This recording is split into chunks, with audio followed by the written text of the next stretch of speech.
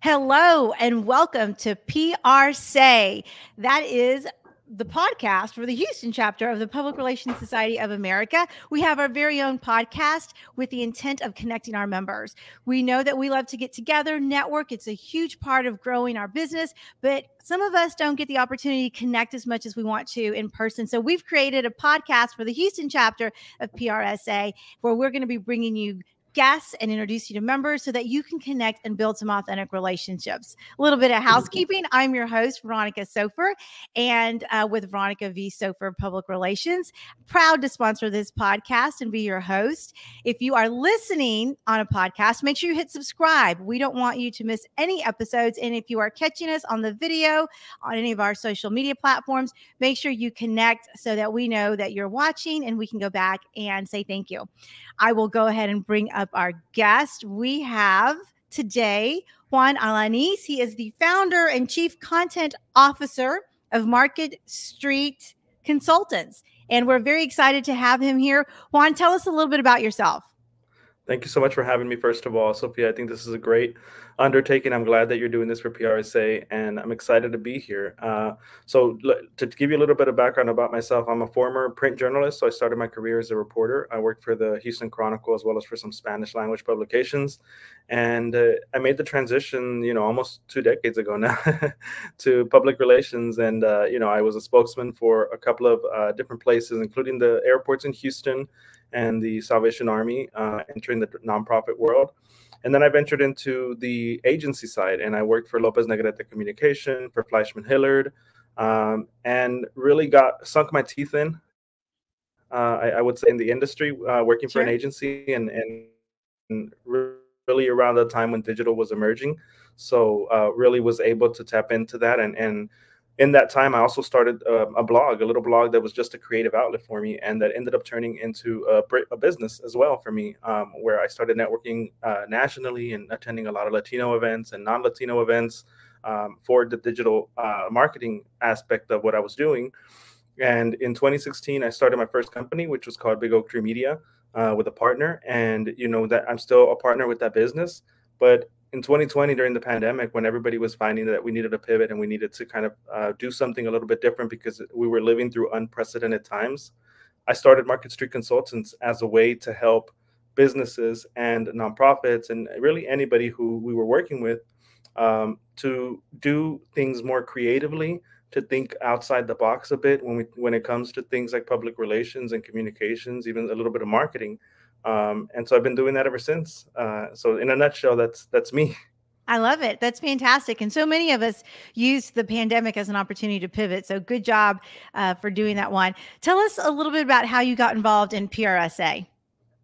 So I first became involved a couple years back, and I actually served on the board for one term. Um, Isidro Reina uh, was the president when I served, and, and I happened to just meet him. I was doing an influencer fam uh, or uh, an experience with some influencers out of LA for Visit Houston. Um, and we happened to visit NASA and I met Isidro. And in our first conversation, he started telling me, you know, PRSA Houston is here. I'm going to be the president next year. And he said, I'm looking for more diverse board members. And I said, I'm all in. Let me let me know how I can help. And you know, after that, it was history. You know, we we uh, you know that year that I those couple of years that I served on the board, I think there was a lot of momentum, and I think that's continued with the current boards that have served uh, after that. Um, so I think you know I find it as a great resource um, as a communicator, uh, whether you're a student or whether you're a professional. It just provides a, a wealth of access to other people that are in the industry um, and a lot of resources as well. Yeah, absolutely. Agreed for sure. So, when you are at network, networking events or you do get an opportunity to talk to younger members, what's some advice that you give them when they come to our chapter functions? You know, I think the the biggest advice that I can give people is, you know, network. You know, it's yeah. really about building relationships and I think that's what our industry in reality is all about. I mean, we build relationships whether it's with journalists or whether it's with digital influencers, whether it's with our clients um, or you know with our staff you know i think it's all about relationship building and i think when you're starting out it's important to seek out people that um, i think that can help you kind of figure out where in the pr space you want to be because there's so it's such a broad industry that has so many different facets. And so I think, you know, really gaining experience. I think I always remember that when I was in school, uh, you know, Minerva Perez, who was at ABC 13, right. um, came to our class one year and she was just, uh, it was a presentation that they were making, but she came into class. And what I remember most about her speaking to me, to us then was she said, if you if you've been in uh, if you've been in college for four years and you're about to graduate and you haven't done any internships, you basically thrown four years of your life away. And uh, I was paying for my own school, so I said I can't afford to I can't afford to throw four years of my life away. So I, I immediately, you know, started looking for internships, and I was very fortunate to get an internship with Univision. I also worked with the City of Houston Planning Department, and really got to experience things that I hadn't done before. Um, there's a difference between learning in the classroom right. and learning in the real world. So yeah. I would say internships are key, um, and I, I wouldn't shy away from starting out, even if even if um, it's a non-paid internship. I say if you're going to gain the experience, um, I would I would definitely consider if that's something that you can afford to do. But yeah. I like to pay my interns because I feel like you know it's only right. Um, but I do understand that in some situations you you you you do work where you know there's not a budget to pay interns, but you gain so much out of the experiences. So what I always tell young people is look for those opportunities, whether they're paid or not, where you can get your feet wet, where you can sink your teeth in, and you can just show how eager and uh, energetic you are. And then don't be afraid to roll your sleeves up because yeah. um, usually when you're starting out at the, at the beginning, you're going to be doing the grunt work. Yeah. Um, and you know you can't expect to show up and, and be like okay this is what i want to do just only these things because in reality you know that's probably not not what you're going to end up doing you're going to have to you know as they say you know the term pay your dues right to get there yeah, Absolutely. I mean, many of us are still moving folding tables and setting up chairs and rearranging napkins. Absolutely. I mean, you do what you got to do for your events and, and for your projects and programs. So I'm with you yeah there's a lot of uh there's a lot of behind the scenes uh you know uh blood sweat and tears that you put into the pr side. And, and i think a lot of times you know when we're thinking about pr and we think about shows like um scandal and olivia pope and you know we feel like it's such a glamorous you know uh, mystique about it.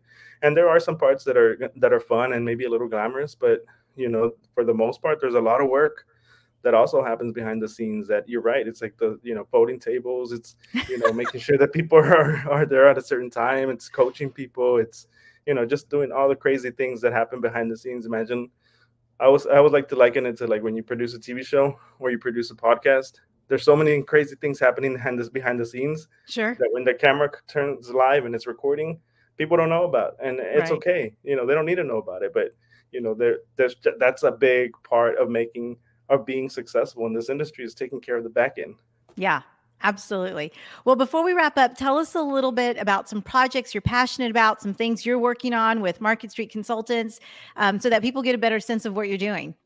Yeah. So one of the things that we're we're really focusing on uh, this year is helping businesses now that we're kind of so we're still in the pandemic, but we're a little bit more familiar with kind of being in a pandemic is helping people to navigate and figure figure out how they really want to communicate, whether that's internally, whether that's through to their donors, whether that's to you know external audiences, how to really connect with them in authentic ways, and how to really own and drive the narrative internally. Because I think that's one thing that we learned in 2020 and, and moving forward is that there's a lot of potential to for us to own the narrative as yeah. as businesses, as brands, um, with platforms like this, with things like we're doing, like we're doing right now through Streamyard, um, you know, live streaming on on social media. We do we do a lot of that. Um, we also help people create podcast content. So you know, we help them launch their podcast or you know support their podcast when they're looking to start out, because there's a lot of space and there's a lot of in- interest out there for you know creative content. And then you know, it, it's not always about the numbers. I would say it's more about how authentically uh, and successfully you're able to engage with your audience. So whether it's an audience of 10 or an audience of a million, you know, yeah. you the what matters is that you're able to relay your message successfully. So we're spending a lot of times with with businesses and clients that we're working with right now, defining like what are the priorities, um, who is the right target audience for you, and then based on that, what does success look look like.